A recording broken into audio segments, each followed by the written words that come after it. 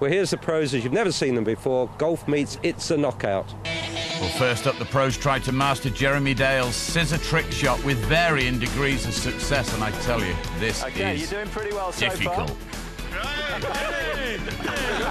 Now, the key was to keep your arms on the same plane, but many of them found this very difficult. LeVay lost his head completely, starts booting it.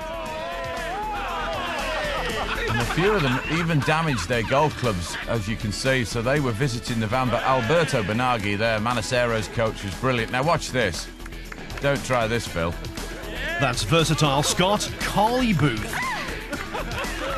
Then